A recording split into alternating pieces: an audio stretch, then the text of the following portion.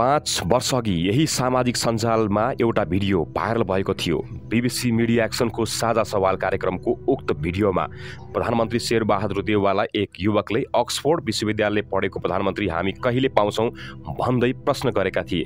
देउवाले झोकिँदै तपाईँ बढ्ता बोल्दै हुनुहुन्छ भनेर जवाफ फर्काएका पनि थिए। पाँच वर्षअघि देउवालाई प्रश्न सोध्ने ती युवा गुल्मीका सागर ढकाल थिए।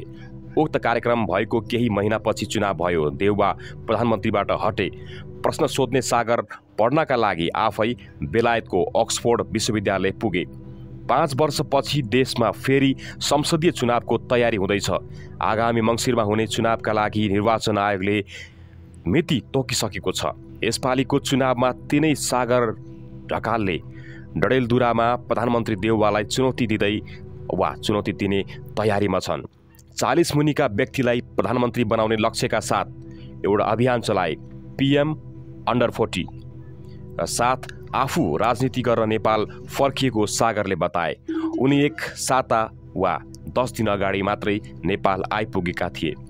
उनले अक्सफोर्ड विश्वविद्यालयबाट पोलिसी एन्ड म्यानेजमेन्टमा एमएससी गरेका छन्। देउवालाई प्रश्न सोध्ने बेला सागरले पुल्चोक क्याम्पसबाट हाइड्रोमेकानिकलमा बिई गरेका थिए भने चार सय दस मेगावाटको नलसिङगाड जलविद्युत आयोजनामा करारको काम गर्थे। अक्सफोर्डमा एक वर्षको पढाइ पुरा गरेपछि छदेखि सात महिना उतै बसेको र पछि चिनमा काम गर्न गएको उनी बताउँछन्। चिनको जल मन्त्रालयमा साना जलविद्युत परियोजनाबारे काम गर्ने international centre and on small hydro पावरमा केही महिना काम गरेपछि भारतको बेङ्गलुरु गए र स्वामी विवेकानन्द इन्स्टिच्युटमा योगाको तालिम लिए। उक्त तालिमपछि आफू अफ्रिकी मुलुक सुडान पुगेको सागर बताउँछन्। त्यो डक्टर्स विथाउट बोर्ड्सको परियोजना थियो। एथियोपियाको द्वन्द्वबाट पीडित भएर शरणार्थीका रूपमा एथोपिया आउनेहरूलाई स्वच्छ पिउने पानी र अरू सरसफाइको व्यवस्था गर्ने काम उनले गर्थे। त्यहाँ उनले निकै राम्रो काम गरेका थिए। केही समयमै उनलाई चालिसदेखि पचासजनाको टिम नेतृत्व गर्न दिएको थियो। छ महिना जति सुडानमा काम गरेपछि मध्य एसियाली मुलुक कर्गिस्तानमा डक्टर्स विदाउट बोर्डर्सको अर्को प्रोजेक्टका काम गर्न गएको सागर बताउँछन्। त्यहाँ महिलालाई हुने क्यान्सरको उपचारमा उनले काम गरे। कर्गिस्तान वा कर्गिजिस्तान पनि निकै राम्रो काम गरेका थिए।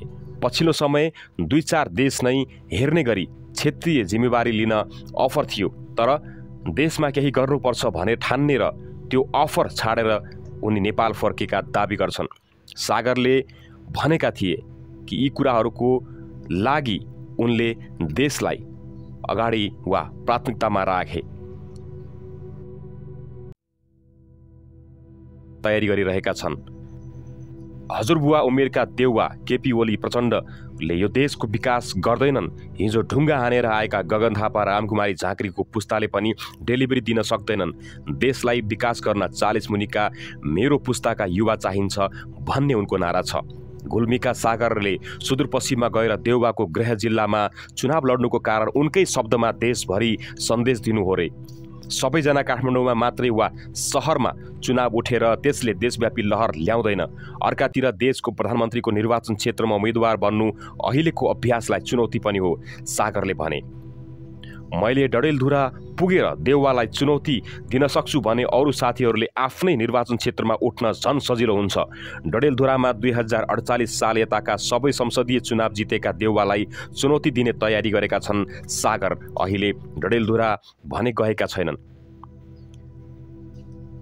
म जाजरकोट अतरिया गएको छु त्यताको ठाउँबारे थाहा छ तर ठ्याक्कै डडेलधुरा गएको छैन उनले भने। अब छिट्टै जान्छु भनेका थिए तर उनी पुगिसके।